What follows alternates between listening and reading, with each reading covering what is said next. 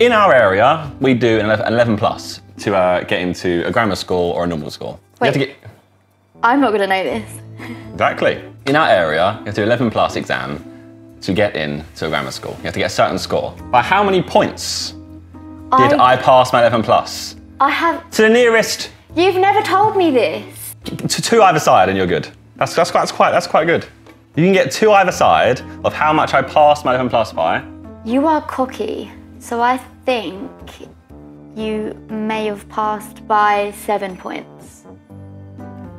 36. Thank you. Do you know what's really sad is that you know that and you've remembered it? Like that couldn't be any more you if you tried.